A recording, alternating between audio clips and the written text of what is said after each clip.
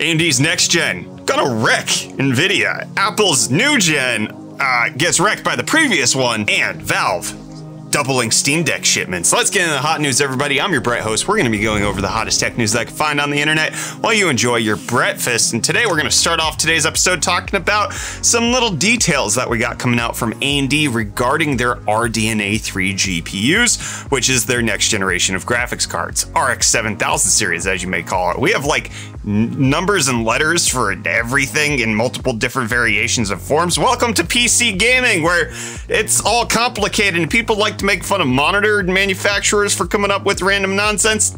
Everybody's doing it. We just pretend things make more sense than others. Any hoozles, turns out AMD talked about at their financial analyst day about what they've got coming down the pipeline for RDNA 3. Number one, re-architectured compute units, making things graphics faster, and then enhance ray tracing capabilities because ray tracing on AMD cards is kind of donkey doo-doo. We actually just finished filming something with the 6950 XT, and Cyberpunk is absolutely horrendously slow when you turn on ray tracing. It's just it's no good. Anyways, AMD saying that these things will allow for an optimized graphics pipeline that delivers even faster clock speeds and improved power efficiency. And they're going to be able to develop hybrid approaches that takes the performance of rasterization, which is normal game graphic stuff, and combined with the visual fidelity of ray tracing, hopefully would be good. Also AV1 codec support as well as DisplayPort 2.0. So a lot of good stuff coming out from AMD. It does look like they're going to offer another solid generation. I think think the RX 6000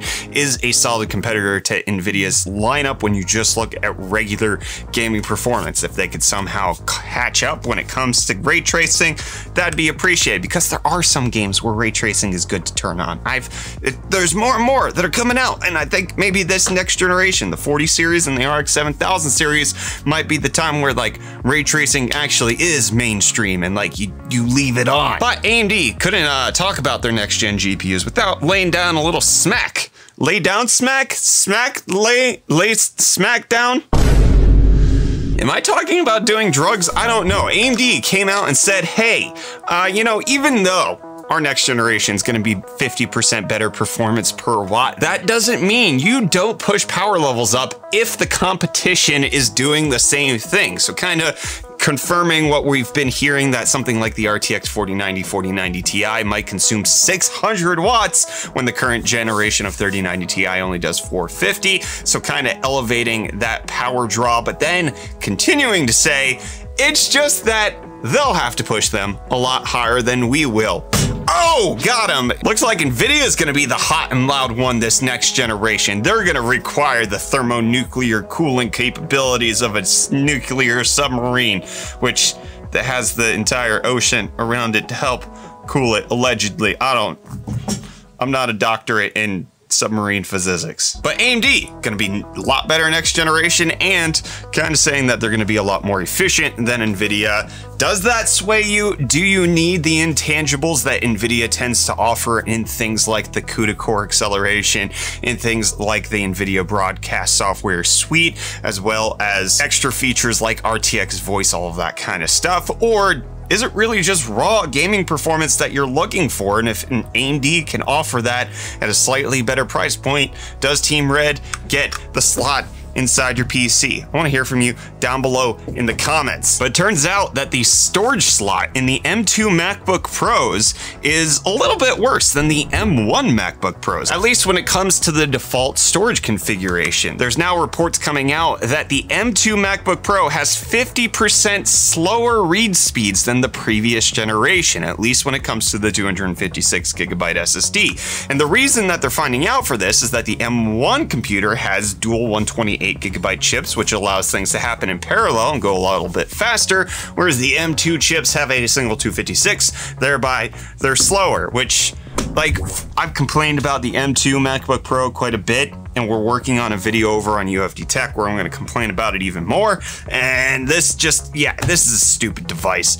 Like you shouldn't be buying this, okay? If you if you're not if you're not getting base storage on the MacBook Pro, then like you're to start spending so much money that you might as well save up for the M1 Pro MacBook Pro or if you're gonna go with base storage, it might just make more sense to go with the M2 MacBook Air. It just, it's a weird device. But none of the other M2 MacBook Pros are affected by this. It's only the 256 gigabyte that suffers from this slower speed. And what might suffer on your face is heat because new reports are coming out that Apple's mixed reality headset, headset will be uh, M2 capable, have the M2 chip, 16 gigs of RAM, and they're gonna have to cool that thing. This is in contradiction to other reports that have come out saying that it's only gonna be the M1 chip, but I'll believe any of this when I finally see it. And do you believe crypto stonks? Because you should. And you should also believe in life after love. Anyways, Bitcoin down 1.78% to be at just under $21,000. Ethereum down 2% to be at 1200 bucks and Dogecoin down just under 1% to be at 7.2 cents. Now,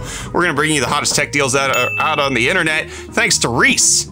Hey buddy, what you got for us? Hey friends, Reece here bringing you the hottest tech deals out on the internet. First up, we have the HyperX Cloud Alpha S, a 7.1 surround sound gaming headset, which is a fan favorite over at the UFD Tech Crew. It's currently going for $62.99, which is a saving of 52%. Second up, we have the Alienware AW2521H, a 1080p IPS panel, 360 Hz gaming monitor, which is I personally have the 240 Hz version and Nice. I love it. It's currently going for $364.98, which is a saving of 42%. You can check out all these deals and more at the link in the video description. And then how do I how do I leave? Do I just do the woo?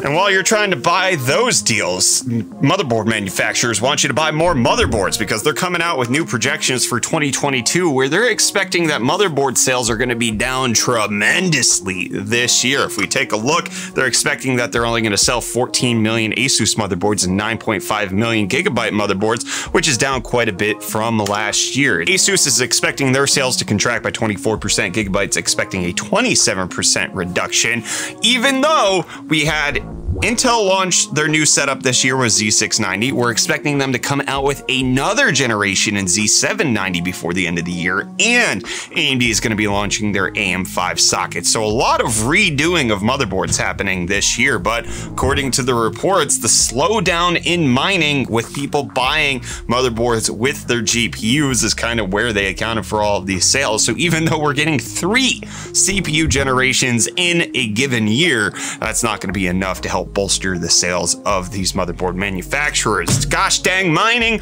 ruining everything. And FSR 2.0 is here to fix everything because it's now got plugins for Unreal Engine 4 and 5, which I can't count. But then also, uh, it's going to make games have it a little bit better, which I know when we talked about the RX 7000 series, I was talking about the intangibles that NVIDIA tends to have. Some people like to bring up FSR as if that matters because NVIDIA cards support FSR, so did Intel. So like it's not that's it's a GPU agnostic setup. FSR 2.0 is good no matter who you are. And no matter who you are, if you bought a Steam Deck, you might be able to get it soon. Valve coming out with new reports saying that they're uh, wrapping up with all of their Q2 emails this week, obviously, because uh, Q2 ends in a couple days. But then on top of that, they're going to be doubling the number of Steam Decks that they're shipping out every week. So we should be getting more Steam Decks in case you pre-ordered yours and want it to come out. Yeah, hopefully you can get it by October that that's if you've already reserved it. I day one reservation. Uh, still am expecting a Q3 delivery. Hopefully, I get my email sometime soon. I had to be a pleb and go and buy mine out in the dirty third-party pirate black market, and it was not pleasant. So I'm waiting on my 512 gig. I cannot believe that it has been almost a year. July 16th was when reservations opened for the Steam Deck. Wow. Time flies. It's still a good console. Like a year later, I don't like there's nothing better. I mean, there's technically things that are better, but the competition's really slow it, and then it also has Valve support for SteamOS, but then SteamOS can be installed on other handhelds. I'm just excited for it regardless, okay? You can't you can't really beat the price. That's that's the most important thing. And you can't beat me to ending this episode of Hot News, because I'm done. Thank you so much for watching. We'll catch you back here for more tech news on the Hippity Flap. I need help.